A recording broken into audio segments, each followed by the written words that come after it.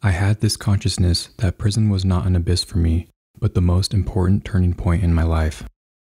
The Gulag Archipelago by Alexander Solzhenitsyn is a three volume investigative history of the Gulag prison system in the Soviet Union. The book explains the origins of the system, how it operated, and what impact it had on society. Most importantly, the book shed light on a side of Soviet Russia that was virtually unknown to the outside world. Solzhenitsyn himself was imprisoned in the gulags after writing a letter that was critical of Stalin. Not long after his sentence came to an end, Solzhenitsyn began writing the Gulag Archipelago in secret at great personal danger. When the book was published, it won the Nobel Prize for Literature and has been credited with helping to bring down the Soviet Union. Time magazine has called it the best nonfiction book of the 20th century. Many proponents of the Gulag Archipelago view it simply as an expose of the Soviet Union, and it certainly is to some extent. American diplomat George F. Kennan said that the book was, quote, the most powerful single indictment of a political regime ever to be levied in modern times, close quote. On the other side of things, critics of the Gulag Archipelago rightly say that the book is full of inaccuracies and was written with a poor investigative approach, after having read the book for myself, I feel like both its critics and proponents are missing the real value of the book. The Gulag Archipelago certainly had a big impact in the political world at the time, but it is also full of profound insights into human nature that are not given the credit they deserve. This book not only captures the tremendous scale of human suffering that occurred in the Soviet Union, it also captures the understanding and insights that emerged from that suffering. The purpose of this video is to help people see past the usual commentary that surrounds the book and shed light on the value it has for people on an individual level. In reference to the people reading this book for the wrong reasons, Solzhenitsyn writes, Let the reader who expects this book to be a political expose slam its covers shut right now. If only it were all so simple. If only there were evil people somewhere insidiously committing evil deeds, and it were necessary only to separate them from the rest of us and destroy them. But the line dividing good and evil cuts through the heart of every human being, and who is willing to destroy a piece of his own heart? It is for this reason that I will be focusing primarily on takeaways relevant to human nature and self improvement, since in my view that is the biggest value to be found in the Gulag Archipelago. To capture this value accurately, I will be quoting heavily from the book. The prisoners in the Gulag prison system, or the natives of the archipelago as Solzhenitsyn calls them, experienced many injustices during their time in the camps. Unjust arrests, unjust prison sentences, torture, forced labor, and murder, all committed in the name of ideology and the pursuit of power. These atrocities abound in the pages of the Gulag Archipelago to the point that it almost becomes tedious reading through them all. There were so many terrible things that happened during this time that it is difficult to wrap our minds around the scale of it. Even more difficult is to comprehend the fact that hardly anyone was brought to justice for the crimes that were committed. It is clear enough that those men who turned to the handle of the meat grinder even as late as 1937 are no longer young. They have lived the best years of their lives prosperously, well nourished, and comfortable, so that it is too late for any kind of equal retribution as far as they are concerned. But let us be generous. We will not shoot them. We will not pour salt water into them, nor bury them in bedbugs, nor bridle them into a swan dive, nor keep them on sleepless stand up for a week, nor kick them with jackboots, nor beat them with rubber truncheons, nor squeeze their skulls in iron rings, nor push them into a cell so that they lie on top of one another like pieces of baggage. We will not do any of the things they did. But for the sake of our country and our children, we have the duty to seek them all out and bring them all to trial, not to put them on trial so much as their crimes. We have to condemn publicly the very idea that some people have the right to repress others. In keeping silent about evil and burying it so deep within us that no sign of it appears on the surface, we are implanting it, and it will rise up a thousandfold in the future. When we neither punish nor reproach evildoers, we are not simply protecting their trivial old age, we are thereby ripping the foundations of justice from beneath new generations.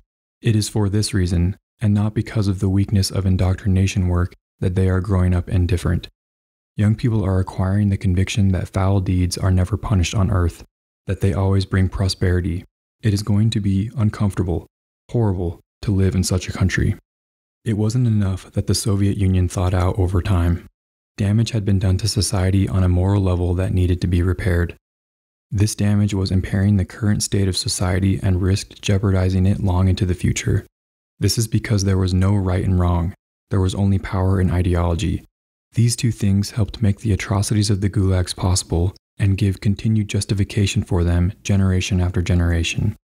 The history of nations is entirely a history of revolutions and seizures of power, and whoever succeeds in making a more successful and more enduring revolution is from that moment on graced with the bright robes of justice, and his every past and future step is legalized and memorialized in odes, whereas every past and future step of his unsuccessful enemies is criminal and subject to arraignment and a legal penalty. To do evil, a human being must first of all believe that what he's doing is good, or else that it's a well considered act in conformity with natural law. Fortunately, it is in the nature of the human being to seek a justification for his actions. Macbeth's self justifications were feeble, and his conscience devoured him. Yes, even Iago was a little lamb too. The imagination and the spiritual strength of Shakespeare's evildoers stopped short at a dozen corpses because they had no ideology. Ideology, that is what gives evil doing its long sought justification and gives the evildoer the necessary steadfastness and determination. That is the social theory which helps to make his acts seem good instead of bad in his own and others' eyes, so that he won't hear the reproaches and curses, but will receive praise and honors. That was how the agents of the Inquisition fortified their wills, by invoking Christianity, the conquerors of foreign lands by extolling the grandeur of their motherland, the colonizers by civilization, the Nazis by race, and the Jacobins, early and late, by equality, brotherhood, and the happiness of future generations. Thanks to ideology, the 20th century was fated to experience evil doing on a scale calculated in the millions. This cannot be denied, nor passed over, nor suppressed. How, then, do we dare insist that evildoers do not exist? And who was it that destroyed these millions? Without evildoers, there would have been no archipelago. Throughout the book, Solzhenitsyn laments the lack of resistance. In addition to the nickname natives, he also nicknamed the prisoners rabbits because they were so submissive and controllable. Why did people not do more to resist tyranny when the punishments were so arbitrary? Why did they not resist when they knew they were going to die anyways? One reason is because of the ideological dominance that the government had. Its influence had become so ingrained in society that people no longer had their own individual point of view.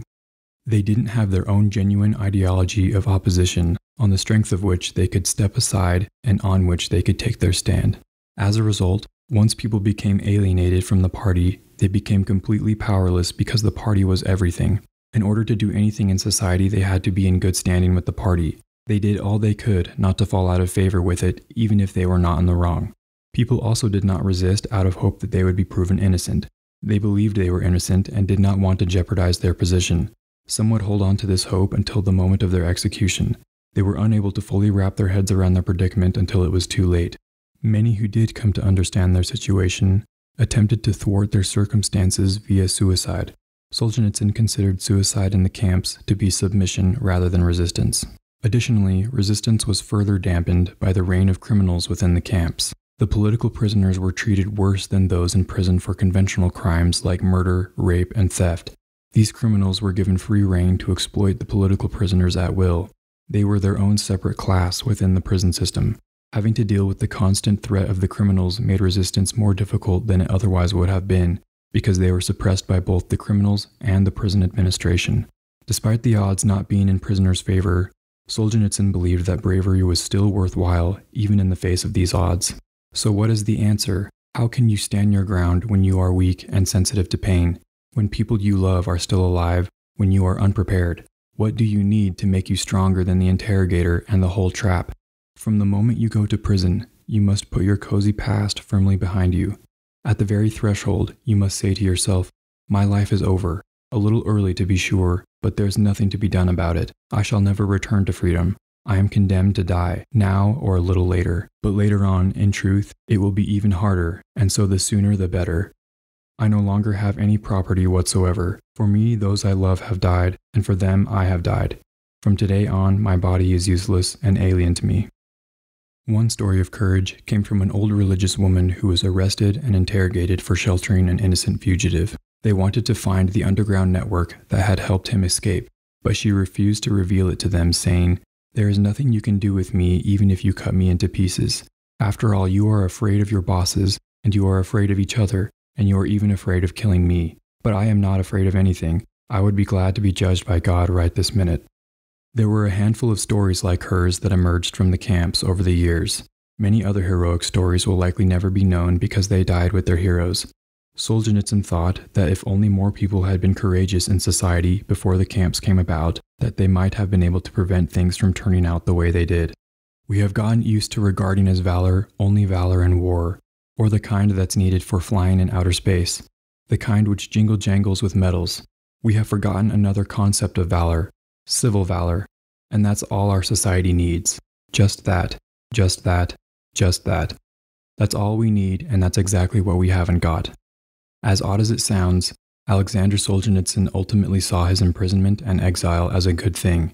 His experiences had a remarkably transformative impact on his life. Despite the hardship he endured, he saw his imprisonment as being invaluable for his own personal development. Maybe it was for the best, Without both those experiences, I would not have written this book.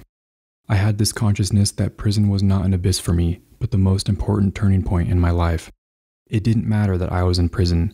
Evidently, they were not going to shoot me, and in the end, I would become wiser here. I would come to understand many things here, heaven.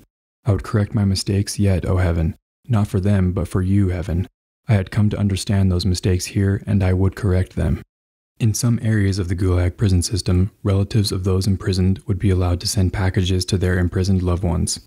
Alexander looked down on this practice, saying that it was a poisoned gift because it transforms you from a free, though hungry person into one who is anxious and cowardly, and it deprives you of that newly dawning enlightenment, that toughening resolve, which are all you need for your descent into the abyss.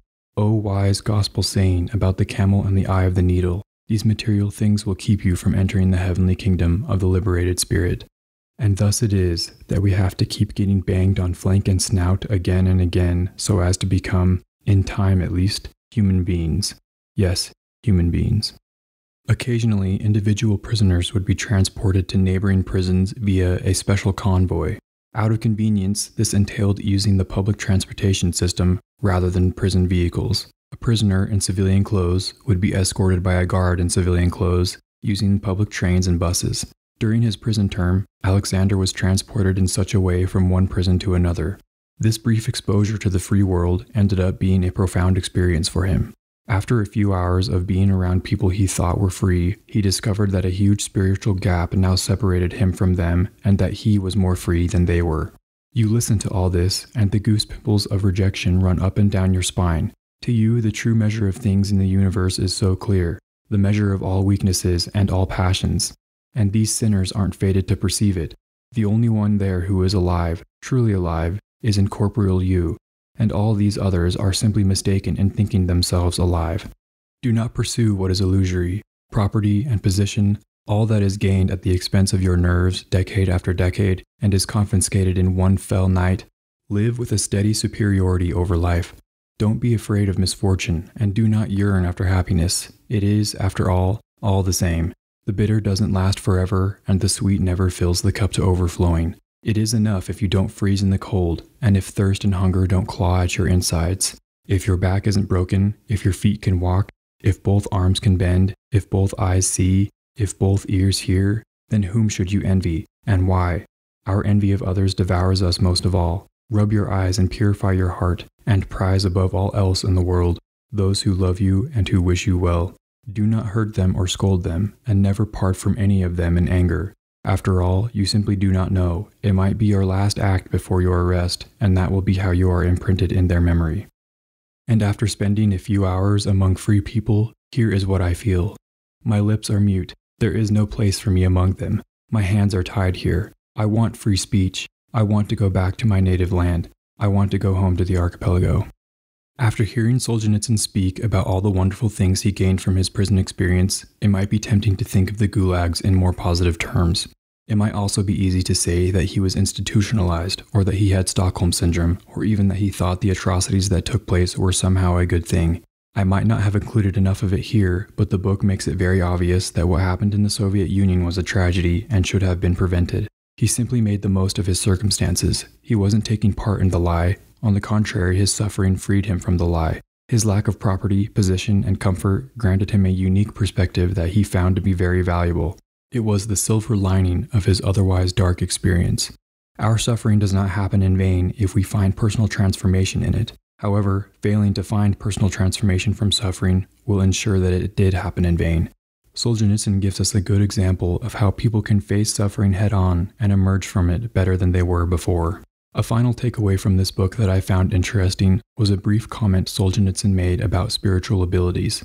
Solzhenitsyn came away from his experiences with newfound enlightenment, a robust sense of humor that permeates the book, and also a unique spiritual ability. He described using what he called his secret sensor relay to help him guide his actions in prison. According to him, it was an inborn spiritual sensor that he would rely on constantly to survive his experiences. For example, determining who was trustworthy and who wasn't. He said he had never heard anyone talk about such a thing before, and further described it as a miracle that exists in many people, but often remains undeveloped because we live in an age that relies too much on rationality and technology. It sounds to me like he is describing what has often been referred to by others as a conscience, an inner voice, or the spirit. This concludes my takeaways from Volume 1 of the Gulag Archipelago. The things I have talked about in this video represent only a small part of the insights to be found in this book. I highly recommend it and will return soon with takeaways from Volume 2. Thank you for watching.